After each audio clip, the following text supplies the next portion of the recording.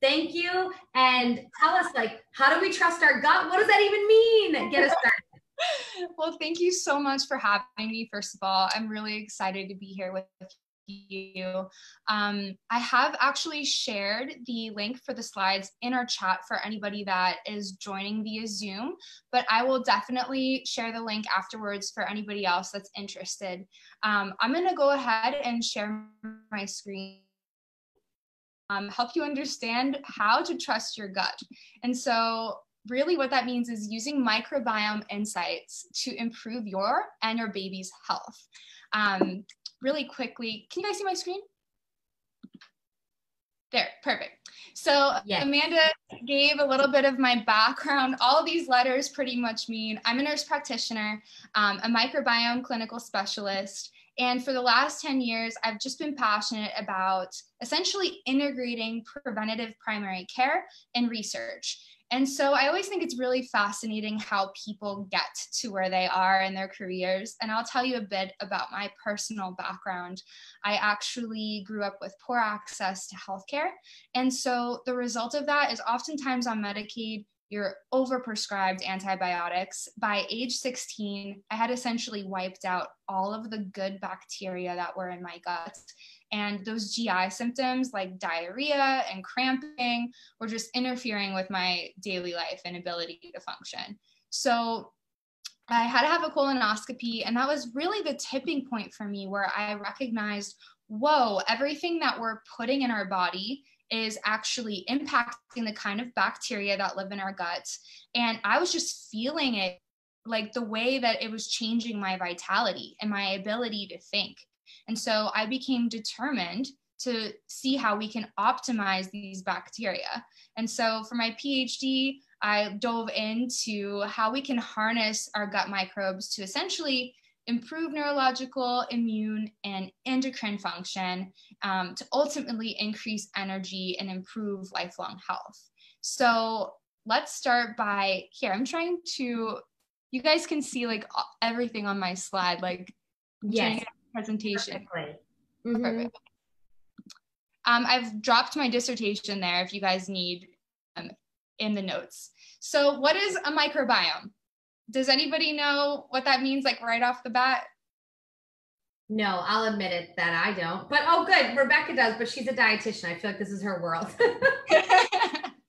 okay, so microbiome in short is essentially a modifiable army of 100 trillion bacteria that we depend on to stay alive. They influence the way we eat, the way we think, and even the way we function. And so some of you guys may have experienced this firsthand if the COVID 19 isolation has been impacting what we call your gut brain health.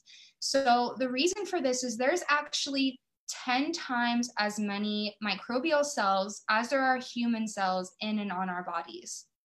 What I'm going to do today is present some of the research that demonstrates how these bacteria um, influence us and how we can actually make them work with us and for us.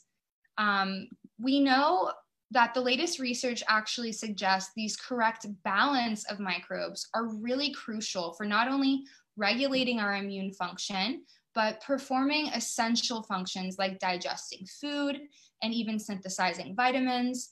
And so thus the microbiome, uh, I'll shorten it to biome, like moving forward, because it's dropped a lot in this talk, provides some of the most important medical breakthroughs of our era.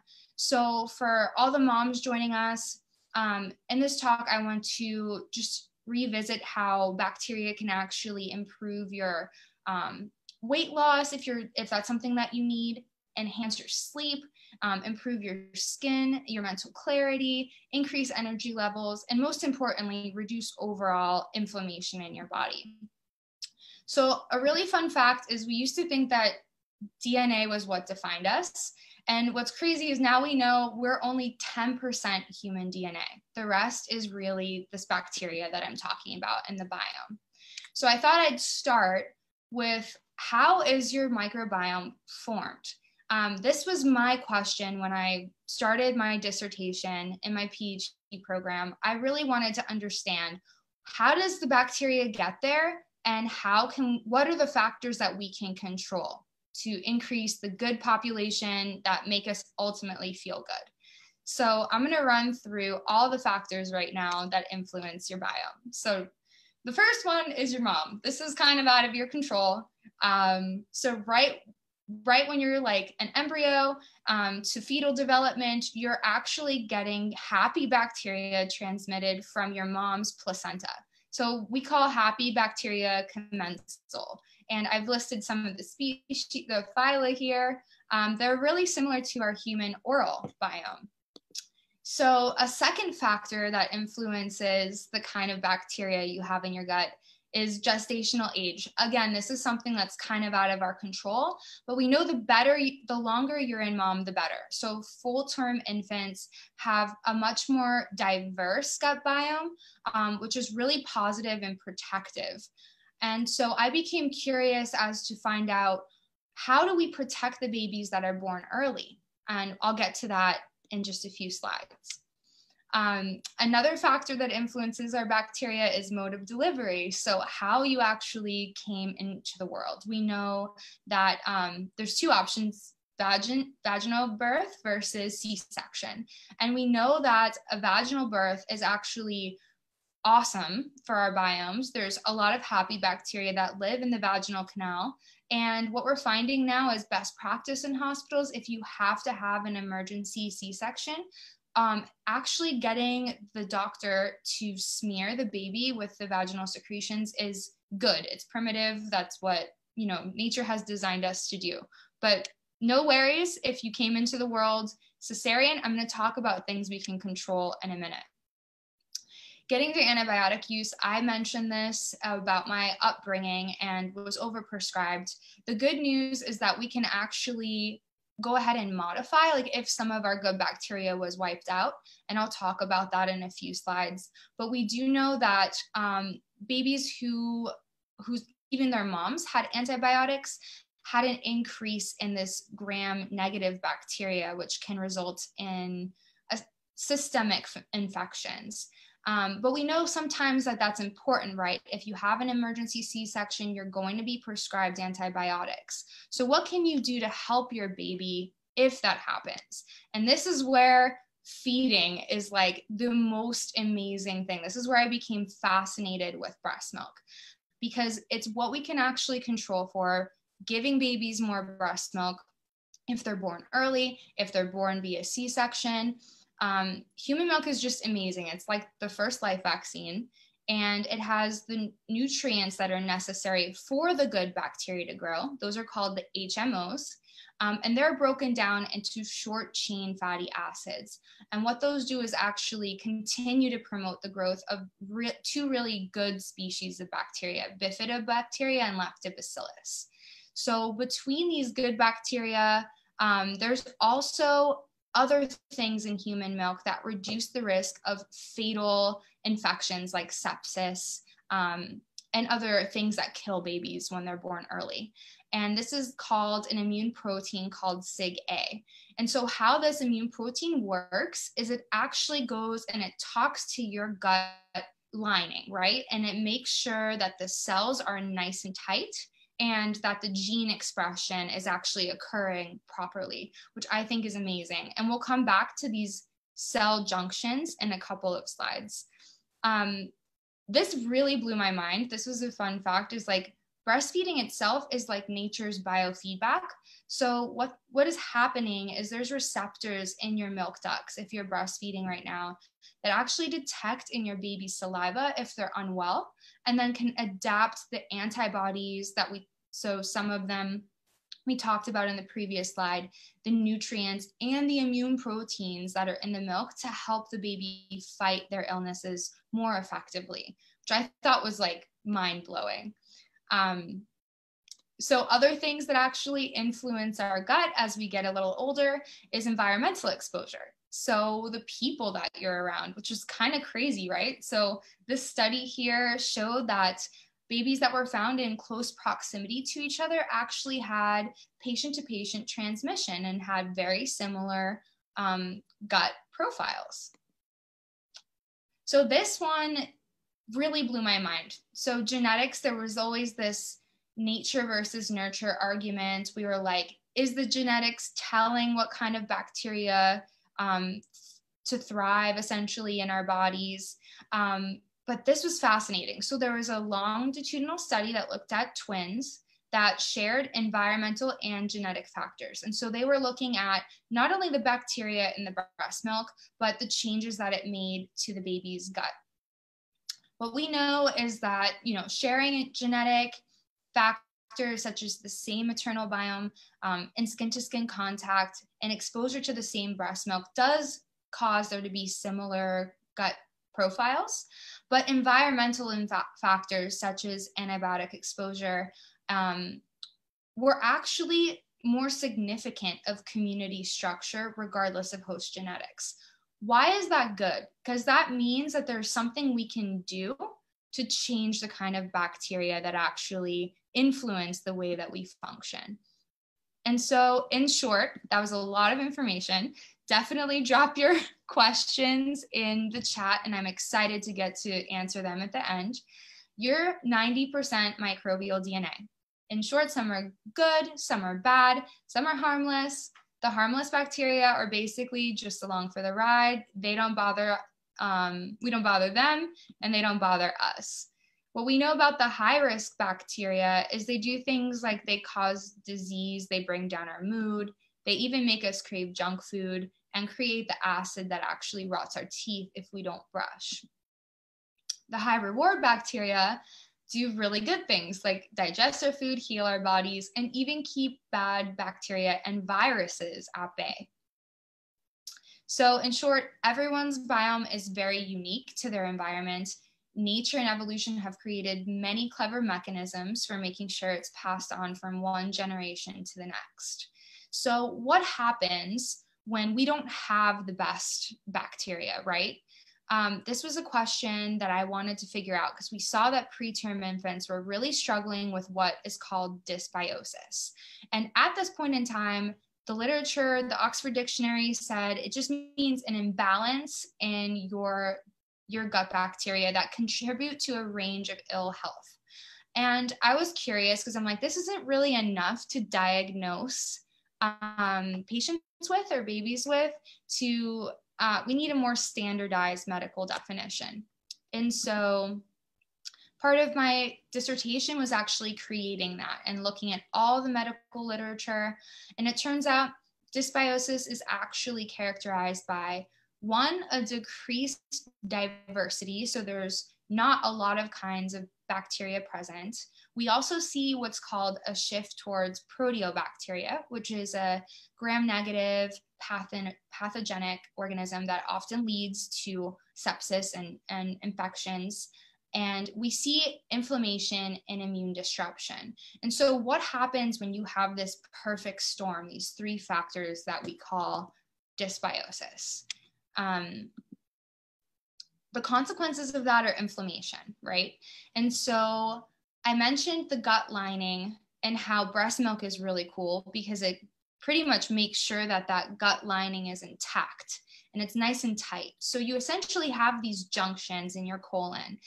What happens in dysbiosis is there's a widening of these junctions. So that means there's increased permeability and what's inside your gut that's not supposed to pass, like the toxins, the live bacteria, undigested food, can actually enter the bloodstream.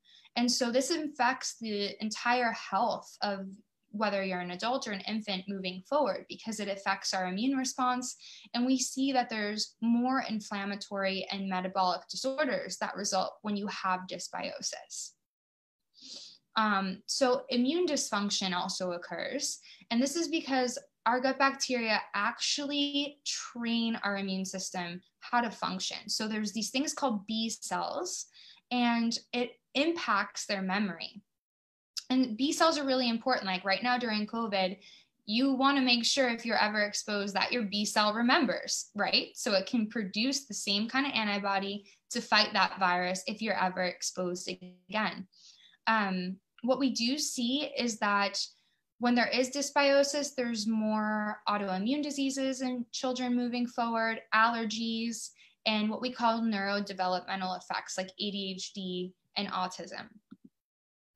And I'm not saying this to scare you because there it's just important to catch dysbiosis. And I want to reiterate the importance of having good bacteria because it is something that we can take control of. Um, this was really fascinating for me, the, the neurological effects.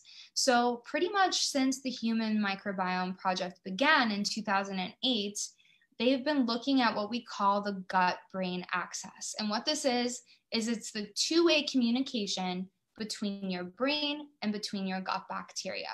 I have a lot of information in this slide if you want to look back and read it afterwards. But pretty much what we know is the bacteria signal your nervous system and that impacts the hormones and as well as your immune responses. Also, what we know is that there's a relationship between different mood disorders and even um, as I mentioned, ADHD and schizophrenia, if there is really prolonged periods of dysbiosis. Um, what we what we see actually in mice gives us hope though, because we looked at mice that have a normal or happy gut bacteria, and we compared them to the rats that were having really hyperactive stress responses, right? Like their cortisol was through the roof. And when we actually change the gut bacteria in the mice, whether it be by fecal transplant, which is changing out the entire gut contents entirely, or whether it be by supplementing with a good bacteria like B. infantis, this led to a full reversal of the abnormal stress response.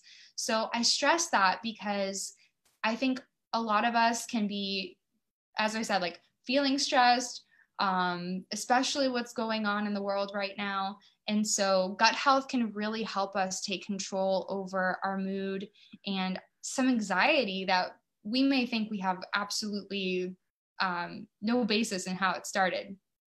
But so, you had you had mentioned in the last slide a fecal transplant. So what what even is a fecal transplant? Great question. So we discovered it by accident.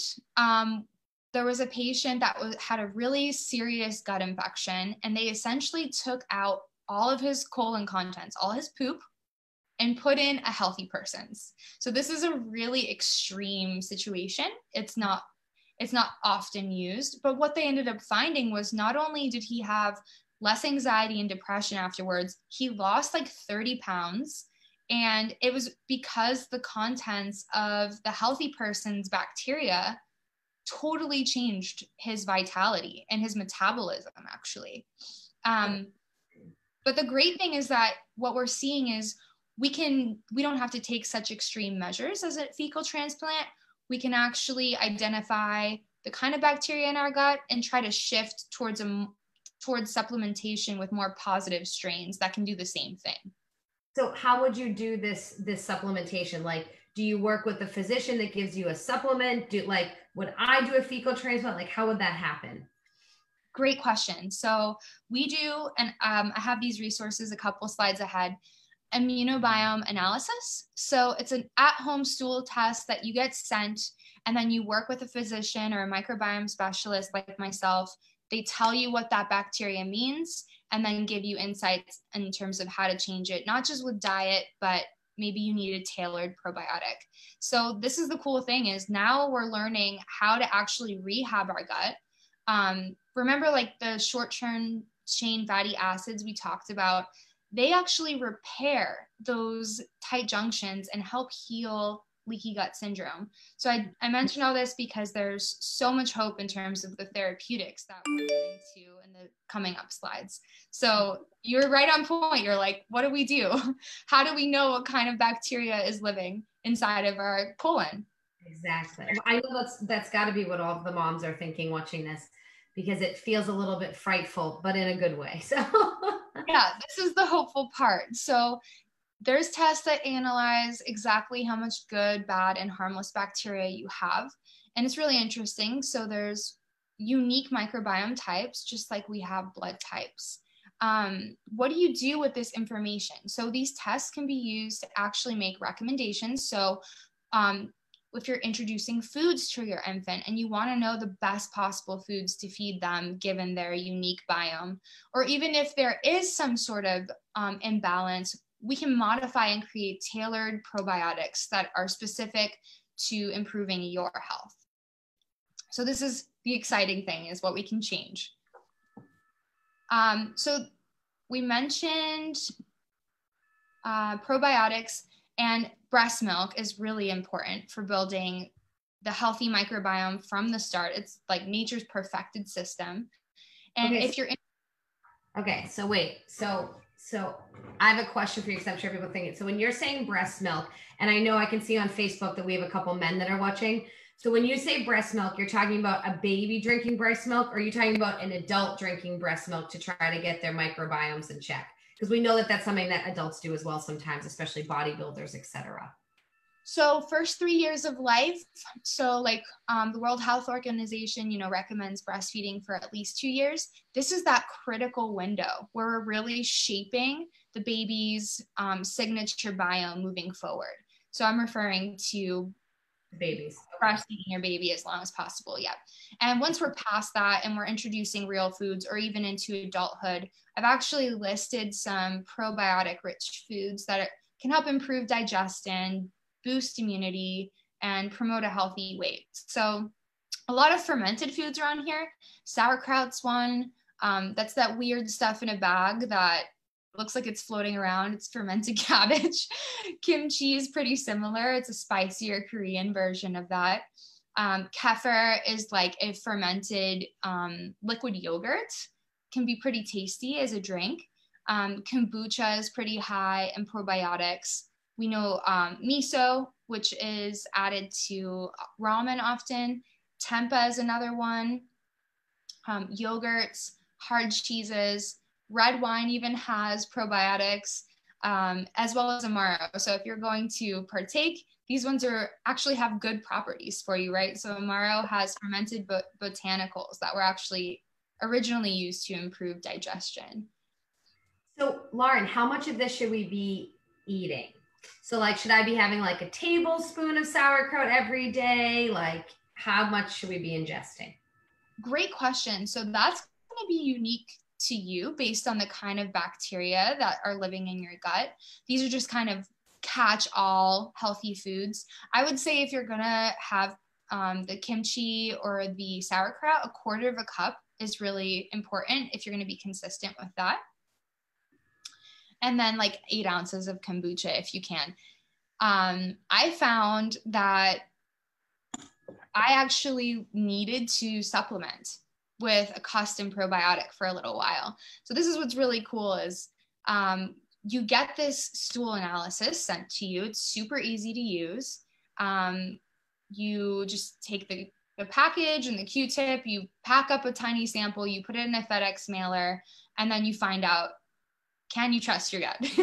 is is it doing the best things for your immune performance? And so it's really simple three steps that we do is like one identify that unique bacteria with the at home stool analysis. Two, we review the results and look at your bacterial profile to see if you need a custom probiotic or if we can just work with you on tailored dietary insights. So, what kind of foods, exactly your question, like how much of what should I be eating? And then we also start by setting a goal too. So, if you're a mom and you're like, I just have had like a bubbly stomach and it's interfering with my sleep um, and my energy levels. We're going to check back in three months and make sure that the health outcome you wanted to achieve, we, we actually attained it. Um, so for babies, we know that like fussiness can just, it's really hard to know what your baby is crying about, right? And so if you've tried everything, like making sure you have um, as much skin to skin as possible, um, and you're breastfeeding, or if you've gotten to the point where you've introduced a bottle and making sure it doesn't have um, a lot of air, like the anti-colic valves are good. Um, this is something you may want to try just to see what your baby's gut bacteria look like. Um, what's actually included in the analysis is a 45 minute telehealth visit with a primary care provider. So that could be me or some of the other specialists that we work with um, this at-home stool kit you get personalized scores but oftentimes i've had patients who you know just go and get a stool analysis and they're like okay, great, but what does this data mean? So that's where actually having the one on one session with you and saying, okay, this is what's important. This is the kind of bacteria we want to increase in three months. Here's how you're going to do it. This is the exact amount of kefir you need to eat, plus your custom tailored probiotic that you'll take for three months. Um, okay. So, so what you're saying is basically, so we get this kit, which, um, where do we get this kit? Just for those that are on Facebook Live or can't stay till the end, like how do they get this kit to? And before you answer that, do they also get a kit for their child or their baby? Does it? Yeah. They, they can do it for their baby. They can do it for them, and even for fathers too. Like we saw, like people in the same environment do share um, microbes. You go to the naturalnipple.com and it's called our immunobiome analysis. Also, it's included in the final slide, the link if you're interested. Perfect. Okay, so naturalnipple.com, right? Yeah. Okay.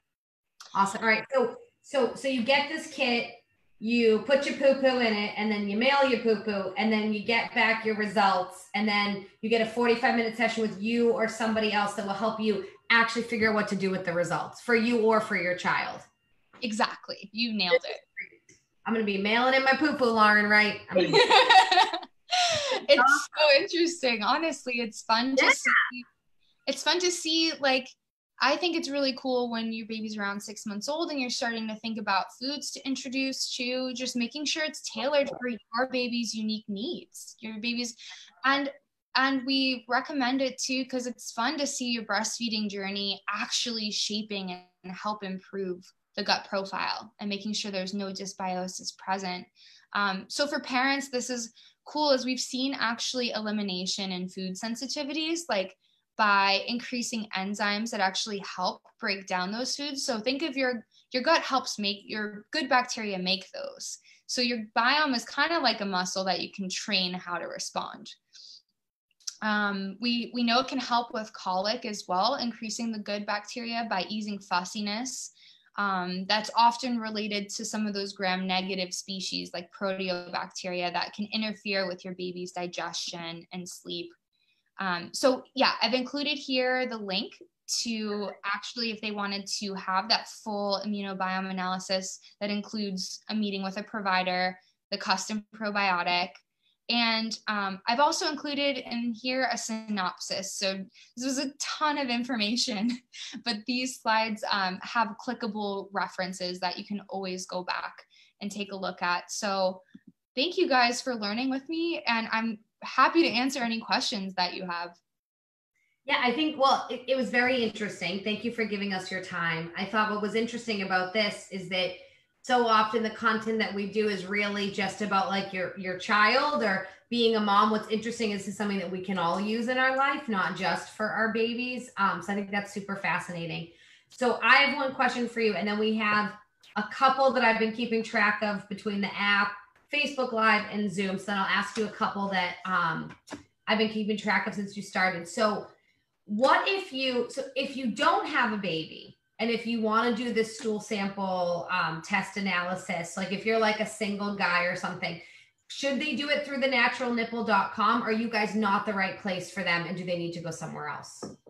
They can absolutely order through the natural nipple. I have a second site that, you know, if you're you're just like not wanting to subscribe to nipple updates, you can go to beyondbiome.life if you're a male and you just want to order it through there. But it's still me shipping it out Yes. Um, yeah. Different branding. We all know what that's like. Perfect. Okay, so I put that in the chat as well, just in case. Um, but so I think it's really interesting. I know that one of the questions that you got, you got a couple questions that were around um just like in general, like let me hold on, they were in two different places. Let me pull it up. So what kind of diet can you optimize on your gut health? But there was a lot of questions that were related to IBS. I saw two different ones.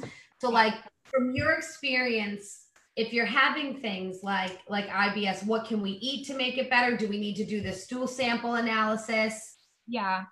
Great question. So when I started with my story at 16, after that colonoscopy, IBS can be a really frustrating rule out condition. They're just like, oh, guess it's not ulcerative colitis. Good luck managing this. So that's what I was really curious about because my symptoms were IBS symptoms. And um, the stool analysis really helped me because I wasn't sure exactly what they give you really general advice like no caffeine, no chocolate, no fried food, no greasy food. And I'm like, okay, great. But when I played with my diet a little bit, I'm like, caffeine doesn't actually bother me. And I love coffee and I'm going to continue to drink that. Oh um, right. But I could have cut out a lot of the experimentation of the elimination diets just by getting to my data, right? Like, these are the kind of I I want to rid some of this proteobacteria. And it's essentially like real estate. Think think of that. Like if you have bad bacteria taking up space in your colon what we do is we do what's called a reset if you're an adult at the beginning of the program. And it's like a 3 day cleanse to kind of wipe out all the contents of your stool. It's not fun. It's kind of like your colonoscopy prep. But what that does is it leaves a clean slate in a neighborhood for you to lay down the good real estate and get the good bacteria in there.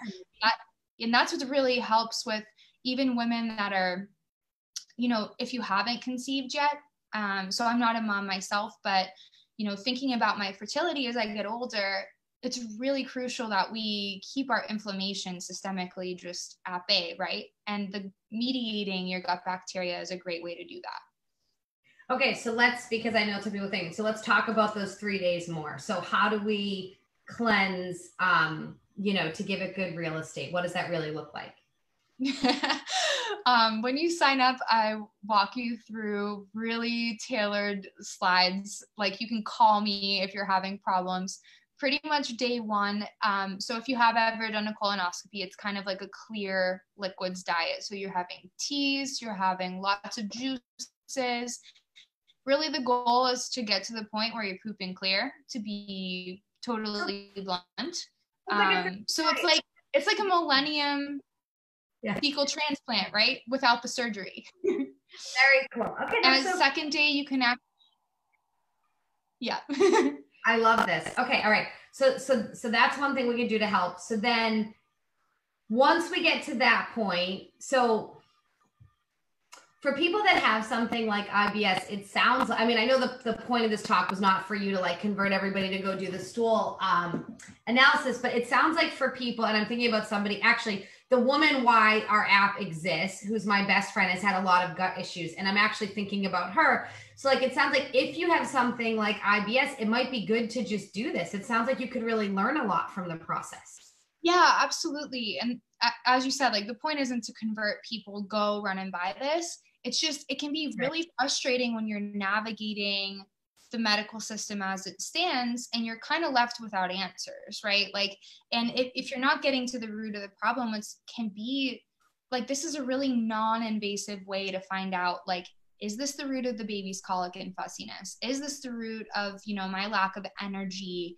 and what they call like leaky gut syndrome? Is this actually kind of influencing my anxiety? I i love this because it gives us a tool that's totally non-invasive right? Like if we can change our diet if we can change our lifestyle a bit and actually just change the gut bacteria and have these benefits without getting on tons of medications that you're going to be relying on, I think that's a great tool. So I just want to make the resource available for people. I think it's so cool. So when do you recommend, like, if um, if you had a baby tomorrow, when would you do this for your baby? Great question. I would actually do it only if they were having problems, if they're under six months old, to be totally honest. Just keep trying to breastfeed. If I had to give up breastfeeding prior to six months, I would actually do the test then because this can result in you getting a custom supplement for your baby's probiotics. So if you started introducing formula, you definitely want to get that good bacteria there, right? We know not everyone can make it to the two years of breastfeeding. So that's where I would recommend doing the analysis. And then once you start introducing solid food, just so you know the kind that are specific to your baby's needs. It's so interesting. I love that. So, okay, so let's talk about. So we have about four minutes left, and it's twelve forty-five. So, um, let's answer a couple more quick questions. So you had I mentioned. I actually have a question too.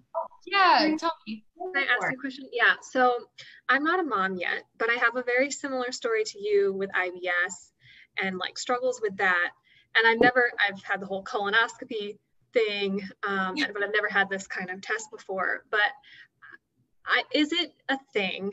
Does it impact my future child that I possibly have like lost some bacteria, am experiencing dysbiosis, that kind of thing? That's a really good question. So this is like I'm going to give a two part answer. Like, one, just for your overall potential fertility. This is why I think it's important because when we talk about how it mediates systemic inflammation, being able to conceive, a lot of that is dependent on how much inflammation is in your body. Mm-hmm. So then, once you actually get pregnant, it is important to have the healthiest biome possible because we when we go back to how it's formed, right? It's actually like going from your bacteria that are in your body in utero to right. your baby. Um, yeah, so that's a really great way to prepare for like in your breastfeeding um, journey and even in your pregnancy to correct if there is any imbalance and try to increase the amount of good bacteria that you have, if that answers your question. It does help. Thank you. Yeah. That's a really good question. Um, yeah, and I bet there's a lot of people that are actually. I know somebody on Facebook was um, has had some issues, and she was wondering about it transferring to her baby's gut. So, um, okay, so speaking about babies and transferring, so we know whether it's a C-section or whether it's vaginal that the vaginal juices are really good for the babies when it comes to bacteria. So there's yeah. been um, chatting actually recently on the app, and I was curious, like what an expert like your answer would be. But is it okay? For the baby to have a bath right after they're born or should like for how long should you be postponing the first bath um, so that you can get all that good that good bacteria? Great question. So i would say at least you want eight hours of just like skin to skin with your baby like colonizing that initial biome. And for our facebook um, viewer in terms of in terms of like if you're having gut problems and you're breastfeeding don't be don't be scared to continue breastfeeding because still the data that we see is it is so far superior. Like you're still giving your baby like those tailored immune proteins that they need and there still is beneficial bacteria um, in your milk. So don't let that deter you if you have ibs from continuing to breastfeed. Yeah lauren and i have done other sessions together and we didn't really go into that um, today but like in general when it comes to breastfeeding it really is like a gift on this earth. Like I can't describe how amazing breastfeeding is. So if you are struggling with breastfeeding, don't let anything deter you. If you made the choice not to breastfeed, we understand that. But if you're struggling, if you need help, please come to the app post a question onto forums and one of our experts will get back to you and they will help you. Um, we have lots of lactation experts on our app and we're here to help you. Women like Lauren are sitting there. So we don't want to see anybody quitting breastfeeding that doesn't want to because breast milk itself really is a miracle. Um, and we, we have other sessions on that. So everyone's welcome to personally write to me in the app. I can send you some really great panels we've done with people like Lauren. So since we're talking about breastfeeding, I don't, I want to make sure that we touch this before we leave. Tell us about the natural nipple. I think it's incredible, but for people that don't know what it is, tell us more about it and why you started it and what it is. Yeah, thanks so much. So I delved into my research and what got me started. And so actually, even though I'm not a mom, when I was trying to figure out how can we prevent those preterm infants from dying early, how can we correct dysbiosis, and when I realized that the one thing we can actually control is increasing the amount of breast milk those babies get, I was like, how can we make this happen? Like, what's the barrier to that? So, um, I received some funding from the National Science Foundation. Bottom line is like standard bottles. I've, I've tested all of them now. They are not similar to our breast. Shape yeah. and flow is just not similar um, no company had ever averaged maternal lactation over the first year and tried to match it in a product. So I'm developing the infant feeding system called the natural nipple, and it's really designed to eliminate that number one barrier that women said, which is like nipple frustration, right? Like after they give a bottle, oftentimes the baby just gets used to that faster flow and doesn't want to come back to breast or vice versa. And so if you go to my site to actually order one of these kits, you can also be signed up for updates. Super excited because we're um, going to be beta testing with a group of moms. We actually have our prototypes arriving this week. So it's, really exciting. Congratulations. Well, I think it's amazing. And for anyone, um, follow the Natural Nipple because even if her product's not out yet, you can get on waiting lists. And her Instagram page in general sells sends just really good positive messages about breastfeeding, cool events they're happening with breastfeeding. The Natural Nipple also has experts that do sessions um, which is really great. And then again, you can join Social Mama and you can always find Lauren and other experts like her. Um, we love having you in our circle, Lauren. Thank you. I love being on Social Mama. Seriously, I'm sure you guys, if you're watching, you're already on the app. But any questions you have, it's a really great place to get that advice from medical experts and get the support that you need.